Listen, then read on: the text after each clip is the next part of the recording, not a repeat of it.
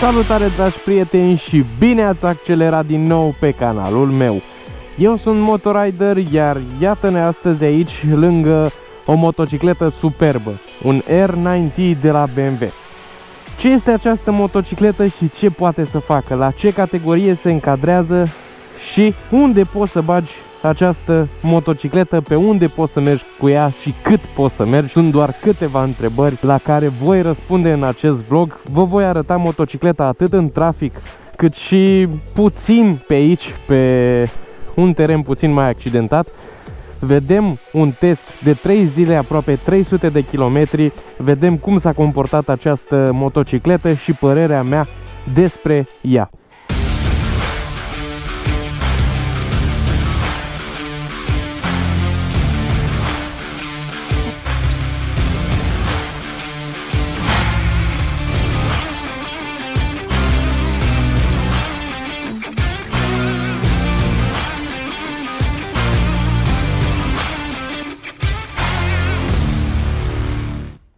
R90 a apărut ca un omagiu adus uh, motocicletelor BMW începute acum 90 de ani sau mai bine de 90 de ani. La împlinirea a 90 de ani de la prima motocicletă BMW s-a făcut acest model.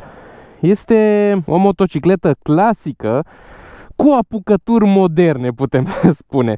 De ce spun asta? Pentru că, unul, cei de la BMW a clasat-o ca și Heritage, este o motocicletă clasică cu sisteme moderne. Și anume, are ABS și are tot felul de sisteme de care urmează să vă povestesc. Ca și modele, putem găsi pe site-ul celor de la BMW Motorrad acest R90 Classic, un R90 Scrambler și un uh, R90 GS. Acel GS este puțin uh, mai spre partea de off-road. Știți de fapt uh, de ce se numește și GS pentru că Știți foarte bine modelul GS, acel model mare și foarte, foarte cunoscut în lume, una dintre cele mai vândute motociclete. Clasicul Roadster întruchipează pasiunea și motivația 90 de ani de construcția motocicletelor de BMW. Această motocicletă este specială pentru cei care vor să își achiziționeze o motocicletă pe care vor să o customizeze. Așadar, dacă vă numărați printre acei oameni care vor să-și customizeze foarte bine motocicleta, aceasta este o variantă foarte bună. De ce? Odată ce ai intrat pe site-ul celor de la BMW, dacă intrați pe acel configurator, vedeți că aveți o mulțime de opțiuni pe care le puteți alege pentru această motocicletă. Mai presus de atât o poți customiza singur pentru a-ți satisface propriile nevoi. Și anume, ce? Poți să-i pui oglinzi noi, poți să-i pui uh, sisteme în plus, sisteme de siguranță, poți să-i modifici culoarea, poți să-i modifici codița, poți să îi modifici scărițele și nu numai astea sunt doar câteva din acele multe modificări pe care le poți face pe această motocicletă. Așadar, dacă ești un împătimit al uh, modificatului motocicletelor, aceasta este o opțiune pentru tine. Haideți să vedem ce mi-a plăcut mie cel mai mult la această motocicletă. În primul rând, este o motocicletă pe care te poți baza. Este o motocicletă care se simte sigură și mi-a plăcut foarte mult pentru că m-a ajutat atât în oraș cât și în afara acestuia. Având nenumărate sisteme și trei moduri de, de condus, și anume Road, Rain și Dynamic, poți să-ți schimbi cu apăsare de buton motocicleta și stilul tău de mers. Mi-a plăcut pentru că este foarte sensibilă la atingere și anume în momentul în care am atins frânele și o să vorbim și de frâne imediat, momentul în care am atins frâna de față, pur și simplu parcă motocicleta s-a oprit în loc. Am simțit că motocicleta pe mine mă oprea, nu eu pe ea. Asta ca o glumă și lăsăm gluma la o parte. Mânere încălzite, avem aici butonul în dreapta, butonul de selectare a modurilor, și butonul pentru start și stop. Accelerația este una foarte, foarte sensibilă, la fel cum am spus și mai devreme, ajutându-te să scapi foarte repede din situații critice, dacă vrei să depășești, dacă vrei să faci ceva sau pur și simplu doar dacă vrei să accelerezi.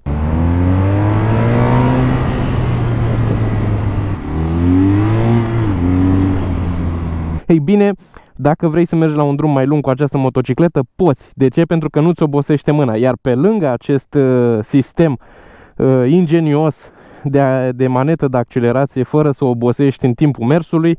Mai avem și pilotul automat care ne ajută să menținem viteza la un drum mai lung. Eu, de exemplu, de la București până la Câmpina, am activat uh, pilotul automat și excluzând uh, depășirile, 4-5 depășiri câte am făcut, în momentul în care s-a dezactivat uh, pilotul automat, m-a ajutat foarte mult pentru că nu am mai stat încordat pe motocicletă cu mâna în accelerație. Despre ambreiaj nu prea am ce să vă spun, ambreiaj nemțesc. În meniu avem o groază de, de setări. Frânele de pe față sunt frâne Brembo. Și ce înseamnă asta? înseamnă frâne foarte bune. Bun. Unele dintre cele mai bune frâne de pe piață, dacă nu cele mai bune de pe piață, două discuri pe față, iar pe partea cealaltă avem un monobraț.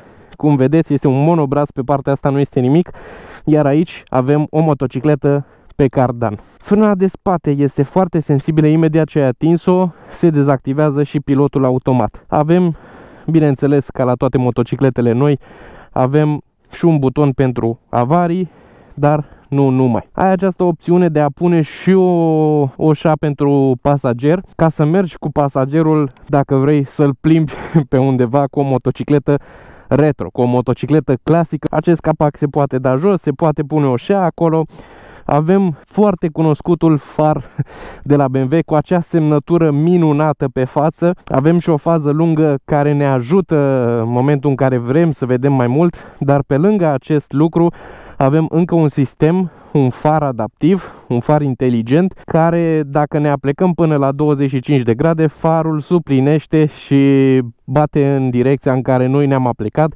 astfel încât noi să vedem cât mai mult și să avem vizibilitate pe timpul nopții. Pe site-ul celor de la BMW Motorrad avem configuratorul, putem să intrăm pe acel configurator și aflăm acolo mult mai multe detalii despre cum putem să, să echipăm această motocicletă. Ca și roți mai putem opta pentru roți clasice, roți sport, ABS Pro vine echipată deja standard, DTC-ul care este control dinamic al tracțiunii, iar acest DTC asigură o stabilitate îmbunătățită la condus și controlează alunecarea roții chiar și atunci când uh, vă înclinați pe viraje. În funcție de modul de deplasare, DTC-ul permite un grad mai ridicat sau mai redus de alunecare, garantând propulsie maximă și beneficii de siguranță pe orice suprafață. Încă un sistem pe care îl mai găsim pe această motocicletă și putem să-l comandăm din configuratorul BMW este prescurtat DEBC și constă într-o siguranță îmbunătățită pe carosabilul la necoș. Aceasta procesează de asemenea informațiile privind poziția înclinată din partea cutiei de senzor. Componentul de control depinde de modul de condus, adică în modurile de condus ploaie și carosabil sau rain și road asigură o stabilitate maximă. În modul de condus dynamic, sistemul de control permite un grad de alunecare mult mai mare pentru a avea o forță mult mai mare în momentul în care te dai cu această motocicletă. Ca și top speed, dragilor, avem undeva la 220 de km pe oră. Vă spun că ajungeți acolo foarte repede, ținând cont că această motocicletă, deși este una clasică, dar cu elemente moderne pe ea, de la 0 la 100 este o motocicletă care ajunge în 3,5 secunde. Asta înseamnă o motocicletă foarte rapidă, o motocicletă care se mulează pe orice fel de așteptări pentru orice tip de motociclist. Mie unul mi-a plăcut foarte mult această motocicletă și o pot recomanda pentru cei care vor să-și achiziționeze ceva al lor, ceva pe care să-l facă unic, pe care nu-l mai are nimeni și pentru cei care vor să aibă o motocicletă unică. Odată ce ți-ai configurat motocicleta, sunt atâtea variante încât tu poți să-ți faci motocicleta ta unică. Nu mai există niciuna în lume ca a ta.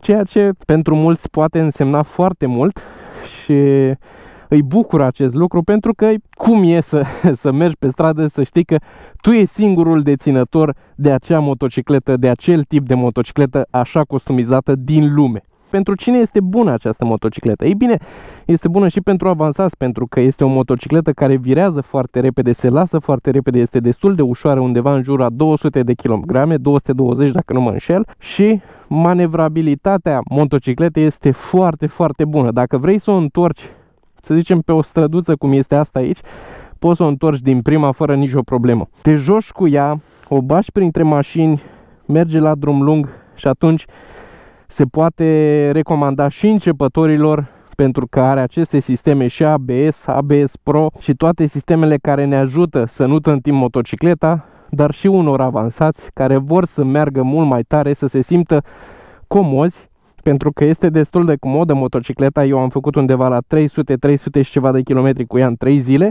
Am băgat-o și în oraș, am mers și la drum lung ca să vedem cum se comportă. Aveți o mulțime de opțiuni pentru customizare, cum am spus și mai devreme, pe această motocicletă, pe acest R9T, se găsește opțiunea 719 cu oglinzile schimbate, capacul de la, de la cilindru schimbat, scărițele și câteva capace cum ar fi cel de aici toate sunt schimbate ca să vă dați seama la ce nivel de customizare se poate ajunge cu această motocicletă.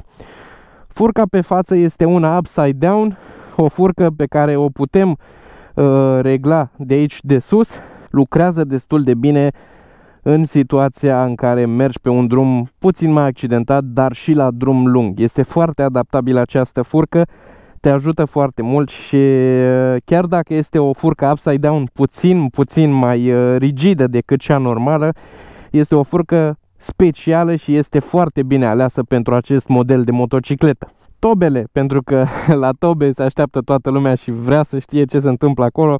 Tobele sunt Akrapovic, sunt niște tobe care se aude extraordinar de bine, mai ales când treci de undeva de 4-5 mii, acest motor are 10 mii de ture. Dacă treci de acele 4-5 mii de ture, o să vezi efectiv cum toarce această motocicletă și o să ți se pară o motocicletă super și se schimbă în momentul în care o auzi. Ea dacă merge la relanti, aproape că nici nu auzi. Ai impresia că mergi pe o motocicletă electrică, deși te aștepta ca la acest boxer, la acest motor, acest boxer în linie, te aștepta să zmucească. Ei bine, cei de la BMW au lucrat la acest lucru și este mult mai rafinat, nu te mai zmucește stânga-dreapta, te ajută efectiv, este un motor foarte liniar, îmi place cum pleacă de jos, cum trage și ajunge la viteză, îmi place cum se comportă și la viteză, are 6 viteze și asta contează foarte mult pentru că poți să mergi la un drum mai lung lejer. Consumul de aici la Câmpina mie mi-a luat undeva la 5,6%. Dacă mă dădeam puțin la ea, putea să meargă și undeva la 6,5%. Dar, exceptând uh, depășirile pe care le-am făcut, consumul la un drum mai lung ajungem la undeva la 4,8-4,9, dacă nu un 5%, ceea ce este un consum extraordinar de bun pentru o motocicletă de 1200 de centimetri. Toate aceste modele se bucură de actualizări în ceea ce privesc uh, echivalenții din ultimii ani. Asta înseamnă că motocicletele noi din 2021 îndeplinesc standardele Euro 5 în timp ce rămân răcite cu aer ulei și cuplul rămâne la fel. ABS-ul Pro cu control dinamic al frânei, DBC-ul care modifică puterea este acum standard. Acest DBC ABS Pro este iterația BMW a ABS-ului în viraje. DBC-ul este un sistem care reduce frânarea prin compresia motorului în timpul decelerării pentru a evita deraparea roții din spate. Pe acest model avem acum uh, un afișaj de tip analogic cu o carcasă din metal, uh, informațiile de pe acest afișaj fiind vizibile doar atunci când, uh, când motorul și cheia sunt pe on. În schimb, dacă vrei să pleci la un drum mai lung sau dacă vrei să spui un GPS în bord, telefon sau așa mai departe, BMW s-a gândit și la asta pentru că este o motocicletă de distracție, este o motocicletă super uh, fâșneață. Ne-a pus aici în partea stângă, în partea de jos, deasupra cilindrului, ne-a pus un încărcător USB pentru a ne ajuta să nu rămânem fără baterie la telefon sau la ce folosim noi în timpul mersului. Semnalizările și de față și de spate, atât stopul de spate cât și farul de față, toate sunt LED se văd foarte bine, sunt foarte vizibile în trafic și putem să ne bucurăm de vizibilitate în trafic Asta ca să nu ne mai lovească cât un negică din spate și să spunem de ce sau să n-aibă scuza că nu te-am văzut. Sunt foarte vizibile și ne poate scăpa din acele situații critice. Ghidonul este unul destul de lat, este un ghidon uh, care ne ajută să controlăm motocicleta. Cu cât ai uh, ghidonul mult mai, mai lat, mai mare, cu atât ai un control mult mai ușor la motocicletă. Dacă ghidonul este mai mic, atunci forța trebuie să fie mult mai mare pentru a schimba direcția. Și atunci această opțiune gândită și venită de la BMW cu un uh, ghidon puțin mai lat decât uh, cel obișnuit este binevenit pentru că ne ajută la comoditatea de mers în trafic.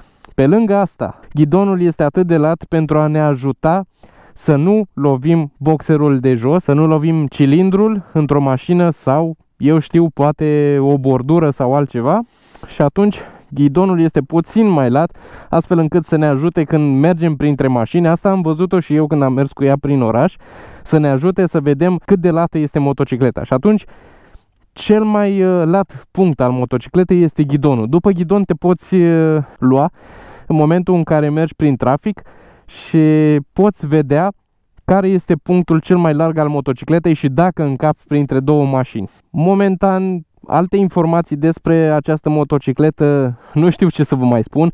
Cei drept este o motocicletă care întoarce priviri care omul când trece pe lângă ea se oprește, se uită la ea, o admiră și uh, lucrul ăsta uh, nu mai rămâne decât să, să ne bucure dacă o achiziționăm sau dacă avem o astfel de motocicletă. Se vede se vede că cei de la BMW și-au dat interesul pentru, pentru acest model. Totul arată modern, dar și clasic în același timp. Acesta este și a fost modelul R90 pentru că trebuie să-l dau celor de la BMW Motorrad înapoi după aceste trei zile minunate de, de plimbat cu această motocicletă și îmi pare rău că trebuie să o duc înapoi pentru că mi-a plăcut extraordinar de mult. Sper să mai am ocazia să, să mai pun mâna și pe un alt model de R90 să vedem diferențele între acesta și celelalte modele. Momentan aceasta este o motocicletă pe care eu unul pot spune că mi-aș cumpăra-o pentru că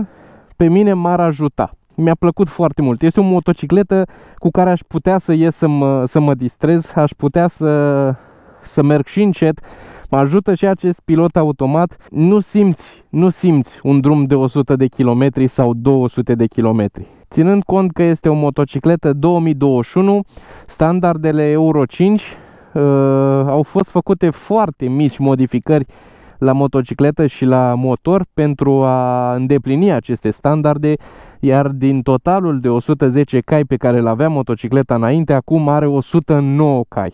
Deci, acel căluț nu putem spune că, că ne ajuta foarte, foarte mult, dar um, ținând cont de câte schimbări s-au făcut și pentru a respecta aceste norme, acea diferență de un cal este foarte, foarte puțin, aproape deloc, pentru că nici nu o simțim.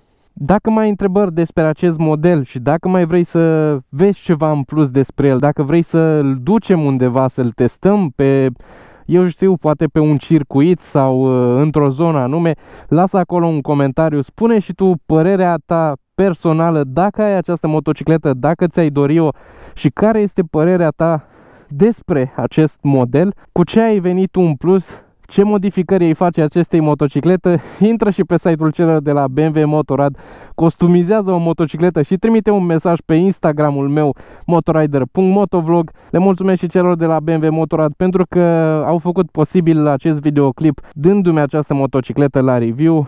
Eu am fost Motorider, iar până data viitoare, Motorider pentru tine, numai bine! Pa!